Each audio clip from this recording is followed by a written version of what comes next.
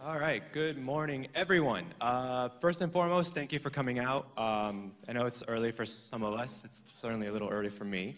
Um, but I would like to start off with first introducing myself. My name is Victor. I come from a company called Sucuri.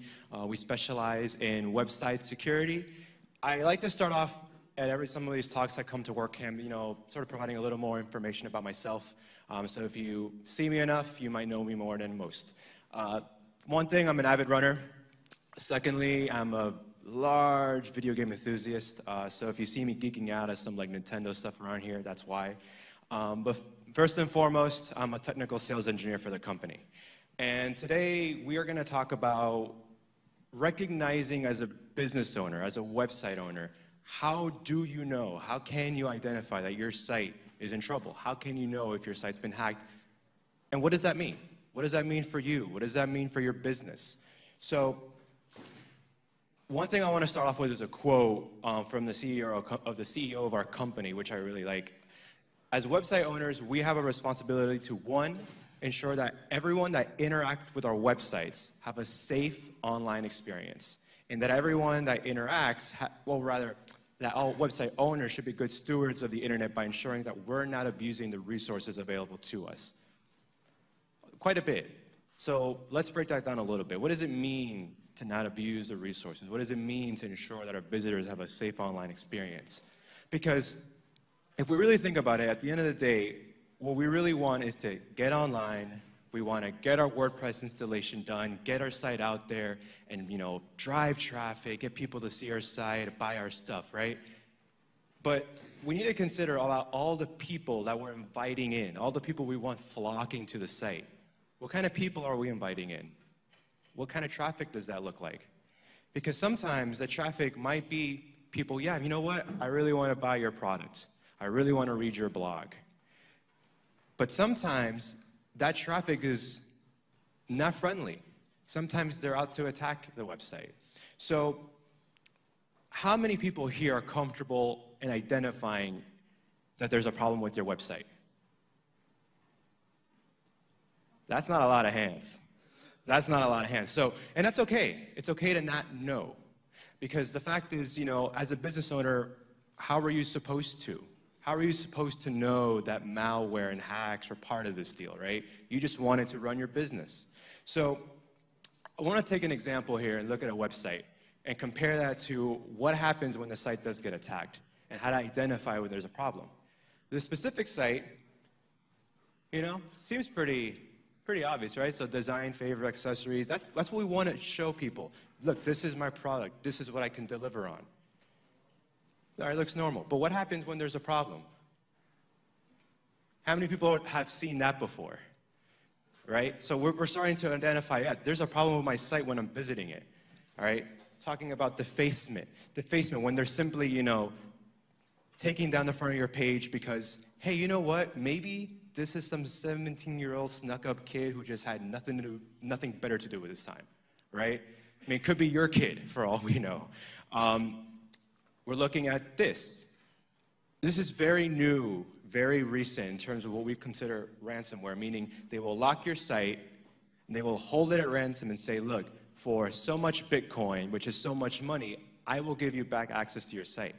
And that's assuming if you pay them, they actually give you access back to your site right?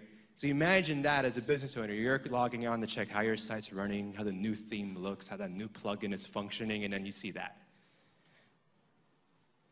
Now, there are other instances where it's a little less obvious. So you're logging into your site and whoa, Facebook pops up.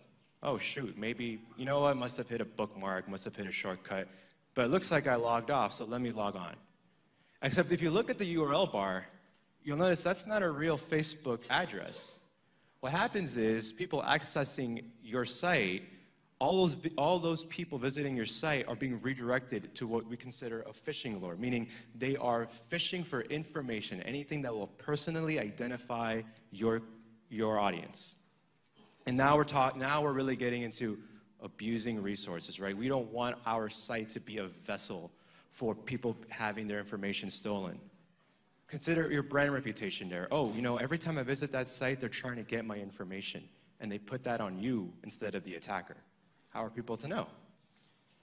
Now, let's look at the, another form of attack that's also less obvious. The site might be fine. The site might still show design favor accessories, you know, okay, great.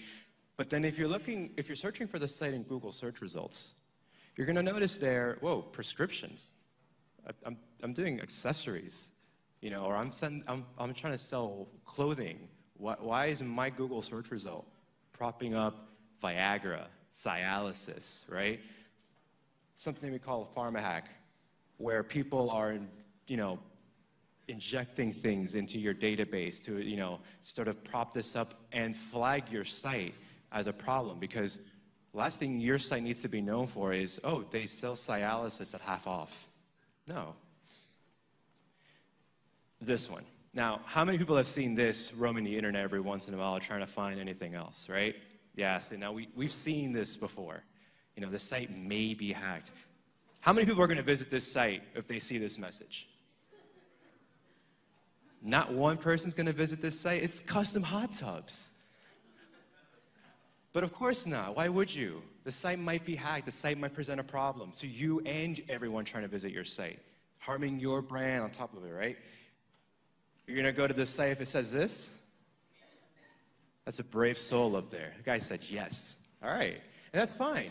You know, you might enter the site, you might download software onto your computer. So now we're not talking even just about the site. Now we're affecting everything on your way to the website. And now we're coming back to a safe online experience. That this is not, of course, a safe online experience for your audience. You don't want that for everyone coming to your site. You want people to come to your site to say, yeah, they have a great product, I bought it, it shipped on time, or it was a great theme that I purchased, and that was the goal. We don't want to worry about this. But, you know, Google plays a large part in this as well in terms of like what can happen and what can you do.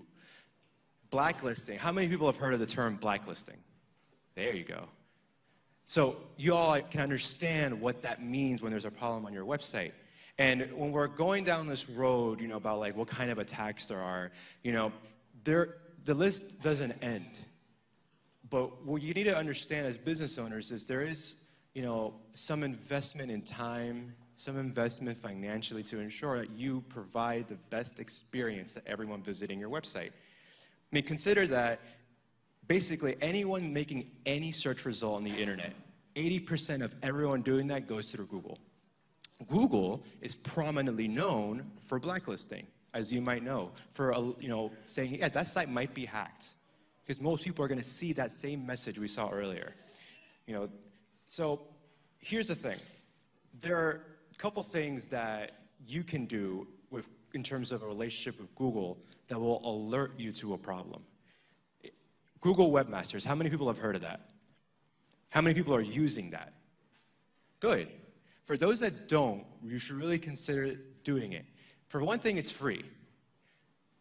Secondly, they will let you know with time before the site's blacklisted that, hey, there might be malicious files on your website, right? They will let, they'll give you a heads up to the problem instead of, you know, having it linger, you may never know, that pharma hack that we looked over that you may never have noticed searching your own site on Google. They'll let you know. And most of all, on top of everything else, it's free, right? You don't have to make an investment into a tool like that. It's valuable that someone like Google, who has much of a presence online, you know, is letting you know about a problem before it gets to it. So let's go back to this. The site may be hacked. This is your site, and you have, you know, you're trying to figure out what do I do? I, I don't, I don't know how to fix that. So you go to Google who alerts you and they have all these guides there and you know you're trying to get rid of that blacklisting warning because now it's really gotten out of hand after a week. Well, let's consider the impact if we let that lie. As business owners, how many people here of course are familiar with SEO? Right. Hey, wow. See, they, yeah, everyone knows about SEO. Everyone knows about driving traffic. You want to rank high in certain keywords. So, you know, after a couple days, you know, okay, your site's been hacked, Google's let you know, and then suddenly your site's been blacklisted. And your SEO tanks. They will remove you from whatever page you were before and stick you at the back of the line until you fix the problem. Now consider how much work you might have put into maybe ranking number one or ranking top five or top 10 into getting people to visit your site. right? We don't, no one wants that. No, I wouldn't want that. So what can you do? Well, Google gives you some good guidance. You know, things about how to clean and maintain your site moving forward. You know, the things you need to do, you know, having shell and terminal administrator access and knowing shell and terminal commands. How many people actually know those two things? So a whole lot more of you raised your hand knowing blacklisting, but not this. And Google's telling you you need to know this. Well, that's not always the case. And that's okay. It's not a problem. But you know, I, I, can, you know, it can be very intimidating when something like that happens and you're not sure what to do. And there's no big red button that tells you, oh, yeah, press here and your site's fixed. It's not always that easy especially if you don't have that kind of knowledge to comb through all your code, to go through your database and figure out what's going on. Because as a website owner, what is your primary goal as a website owner? Who can tell me that? Make money, right? You want to make money. That's your primary goal. That, that's the only thing you want to be thinking about when you're running your website, when you're, you know, trying to, you know, update your inventory. That's the main goal. So the idea, of course, is understanding how do I get there? How do I restore my ranking? Well, the, you know, sometimes a lot of it is investing in a solution, in the resources, like even just the free resources of Google Webmaster. You have time to figure out a, an answer to the problem. But what does that really cost? I mean, I'm saying that, yeah, Google Webmaster is free, but Maybe it's too late for me. Maybe I've been blacklisted. What does that cost? So I like to tell this story um, because it's the one that resonated most with me. Um, I had a client once, 4th of July last year, who was on a five-day vacation. And she's calling me July 3rd in a panic, in a frenzy, because her site's down, the host shut down the account. Her site's been blacklisted by Google, by McAfee, and she doesn't know what to do. All right, okay, don't worry about it. You know, we'll, we'll get it fixed for you. So after three days, we've had the site fixed. The site's been delisted from the blacklist of Google. And, you know, she comes back to me and she's like, you know, thank you for helping, but I feel like I need to tell you what happened. I'm like, well, what happened? She tells me that as part of her five day vacation, she was stuck in her hotel room for two days trying to figure out how to get her site back online. You imagine being on vacation, trying to worry about this with family around you, and you don't have time to spend with them, the money you spent wherever it is that you went to go on vacation? Moreover, she was selling like high-end couture accessories and products, you know, like you know bracelets and the like, and she was telling me, you know, every time she leaves on vacation, she's expecting $11,000 in revenue easily. She didn't make any of that. So she lost $11,000 in three days because of an issue like this. So the cost sometimes isn't necessarily like, what do I have to invest to ensure that my site's fine, or you know maybe getting a firewall or someone who can respond to me with cleanup. Sometimes the cost or the consequences of your site getting hacked, because I don't think she ever would have imagined $11,000 gone in three days that she never would have had because no one could access her site. How could they? Especially if they had that site maybe hacked, none of you would have gone to visit her site because I wouldn't, except for apparently that guy over there who's very brave enough to do so. But when we consider what can you do in a circumstance like that, you know, there are a lot of easy steps to, you know, sort of go about, you know, making sure that everything is fine with your site. And of course, first and foremost, it's updating the site, right? Your WordPress installation, your themes, your plugins, everything that you're utilizing to make sure your site is up. Make sure you're up to date. Because a lot of times, what you don't realize is that while those fixes may provide a better user experience or a back-end experience for you, for the most part, they probably have important security fixes that you don't realize are there. It's no different than updating every app on your phone. Sometimes it's not updating because it's trying to make the scroll bar a little better or the text a little nicer. It's because they're trying to do something to protect you. I could go through this list. Um, you know, there's some a lot of good a lot of good um, items here that are you know free in terms of understanding like what would your host do in a situation like this. You know, just that kind of information gathering. But I want to sort of get back to this quote a little bit um, and understand that you know as website owners we do have a responsibility on us because we're the ones putting the website out there and using the resources available to us to ensure that everyone that interacts with our site does have a safe online experience. Understanding that we want our visitors to come in, come out, and not feel like you know they've been swindled, not feel like they have to look over their head because they saw a funny pop-up come up on your site you have to understand that, you know, as website owners, we do have a responsibility to be good stewards of the internet, making sure that, you know, we're not using our top ranking Google search results to fish for information on your, on your visitors, stealing credit card info or stealing their name and email and phone number when you have a contact form up. We, you know, because we certainly wouldn't want that visiting other people's sites. We wouldn't want that visiting a website developer site who's trying, you know, we're asking for help and in, you know, sort of passing on the kindness in a sense. So that's what I have. Uh, you know, as I mentioned, my name is Victor. I work for Sucuri, and thank you for taking the time to come in. Um, you know, have a happy WordCamp. If you have any questions, feel free to come down. I'll be more than happy to answer.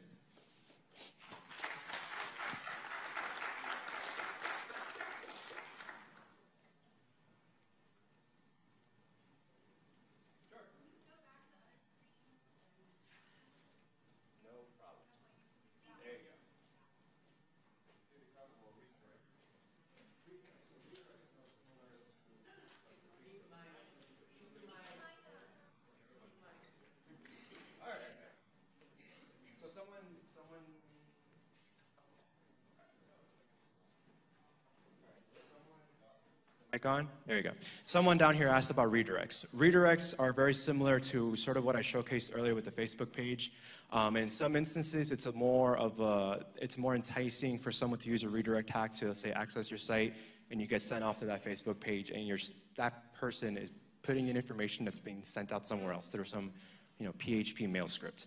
Other instances, it's a little more obvious where all of a sudden the site's being redirected to maybe a similar looking site of yours right? Maybe they sort of just copy and paste, you know, templates and information, and when someone's making a purchase, they're not actually making a purchase. Um, those kinds of things, I mean, can reveal itself in different forms, HT access files if you're familiar with it. Um, but in most cases, you really want someone or so, you know somewhere to go to to be able to properly identify if that's a problem. Because if you're noticing it on your own site, then you should consult someone who can provide better responses for you.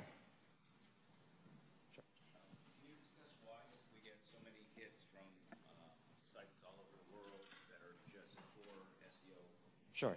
Uh, so someone asked, why is it that you get so many hits from all over the world regarding that kind of thing? So one thing to keep in mind, especially about when you're trying to figure, you know, when you're th thinking about even just attacks, like where they come from, most of these things are automated, like just bots, you know, hitting, pinging your site, because either they're trying to test access or they're trying to, you know, see what they can do in terms of accessing your, you know, your site's files and everything in, in, on the administrative end.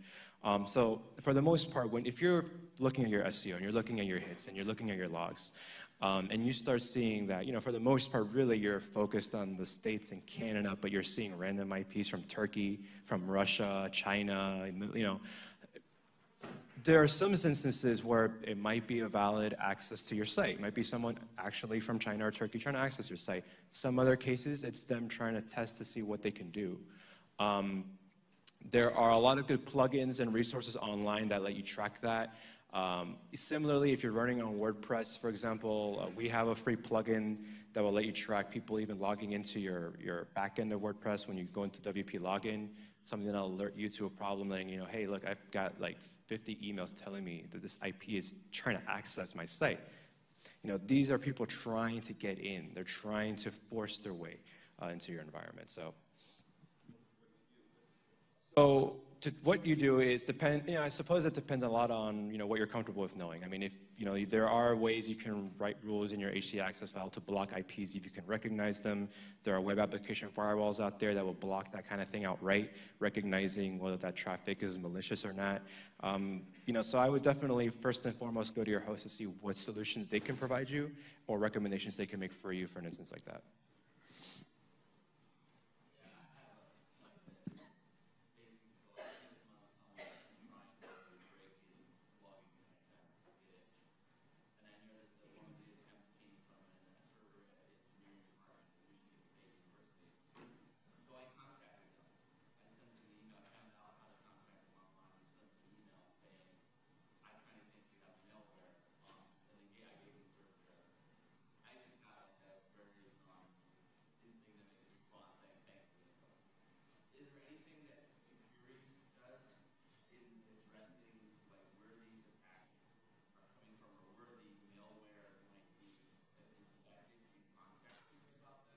Um, we don't, and you're not going to find many people who will approach suspected attackers because for the most part, what you may think might be the university attacking your site might be actually someone using another computer, another site, and another resource, just sort of like to mask where the origin's from.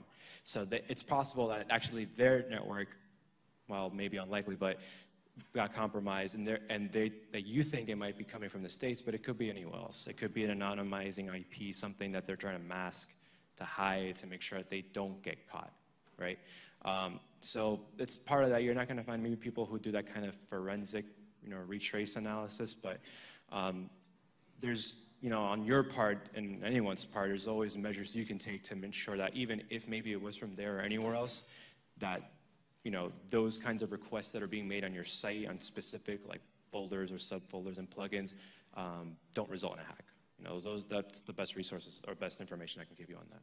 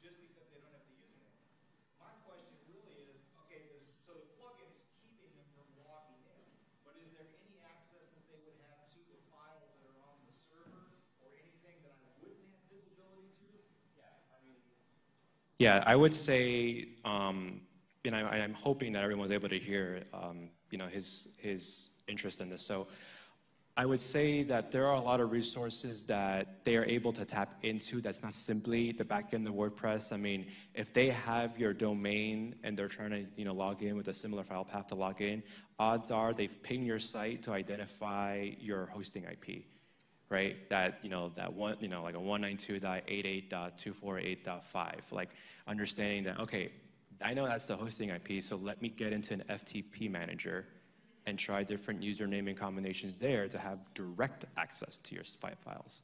A lot of times, you know, these attacks are automated, so it's not so much that they're trying to guess one username, that's how it goes. You know, a lot of our information is out there. So, you know, my site is, you know, santoyohats.com, right? And they can find my last name, my first name that I might put on the site. Odds are they're probably going to get what city I'm from, you know, other things like that. And they're going to use typical, you know, like I would say variations of how people create username and passwords, like first initial last names, last name, first name. Um, maybe they can identify family members. Okay, so maybe I'm putting just the last name and my birthday or my zip code or you know, things like this. And, and these are the kinds of things where you also need to consider about the access you're creating. Like when you have a username and password, make sure that no one can understand why you have that username and password. You know, I, I don't, I try to avoid using, you know, anything identifying me or my family in anything with passwords because passwords are the one thing that people people get lazy about. You know, we want to just say, ah, something one, two, three. Or what's my password? I forgot.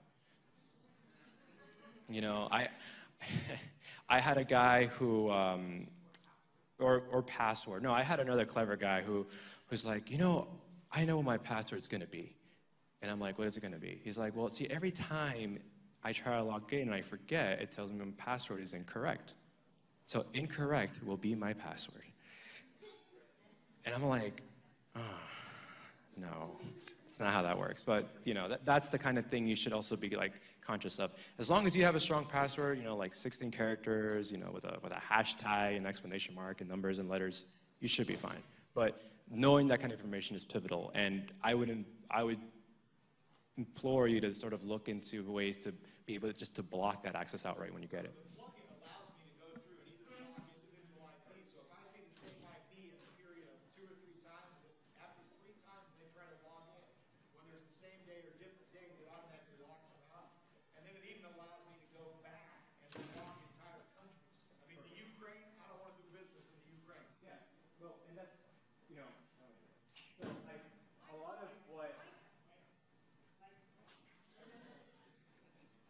Um, a lot of what you also want and something you're touching on, right?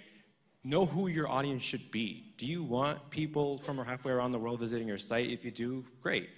Take precautions to make sure it's the right people. If you don't, and your audience is strictly, yeah, I'm, I'm a local person, I really only need Miami, Spanish speaking people looking on my site, or I'm in the States and Canada, that's the only people I want to reach, then ensure that those are the only people you're reaching.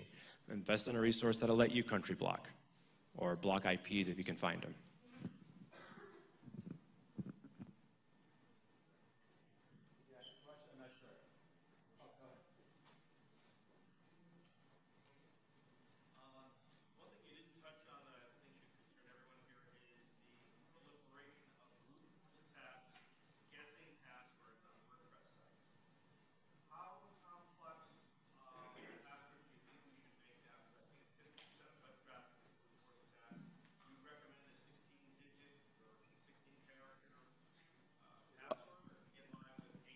No, I would say 12 at least. Um, I use a 16 uh, character password. Um, sort of touching on the last thing there, like passwords shouldn't mean that complexity. It should be 16 digits, should have a combination of upper lowercase letters, numbers, special characters in no discernible order. There are resources like LastPass. Has anybody here heard of LastPass?